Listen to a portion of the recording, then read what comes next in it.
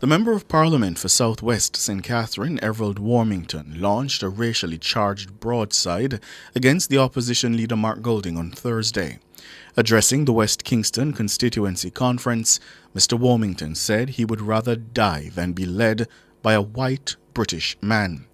The controversial MP also urged the opposition leader to seek office in Britain where he believes he'd be more comfortable. Norgay Banton reports. No white man can lead me. Everald Warmington made his displeasure clear about the prospect of PNP President Mark Golding becoming Prime Minister.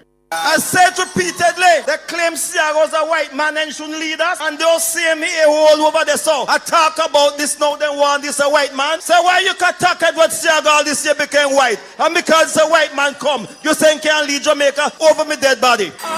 Over dead body. To loud cheers from the packed audience gathered at the Tivoli Gardens High School, Mr. Warmington urged Jamaicans to put Mr. Golding back on a boat and send him to England.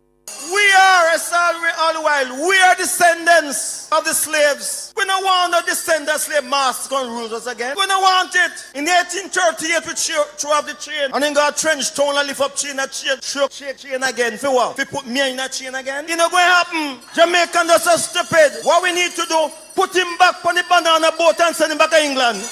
It was revealed that Mr. Golding was a British citizen by descent.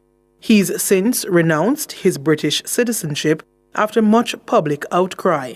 The Southwest St. Catherine MP told Labourites that the opposition leader only selfishly bowed to public pressure. He says Mr. Golding should seek office back in England and leave Jamaica. What I want to say tonight, England have five prime ministers in two years because they can't find nobody. So this English white man, if he want a prime minister, go England. They can't find nobody up there.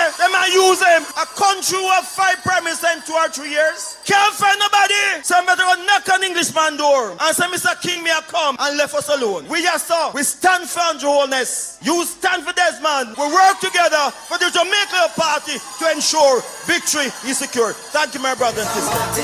Nora Gay Banton for Nationwide News.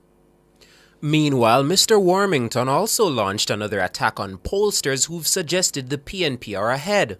According to him, there's no doubt the JLP will secure a third term. You hear some stupid nonsense coming out about polls saying this and polls saying that? What me say? F poll, labor rights strong, Labourites solid, and that effing thing not gonna away. You hear me? Those polls are paid for by PNP. And if PNP pay for it, you go and get PNP poll. I was on Cliff Hughes' program some weeks ago, you know, and talk to press.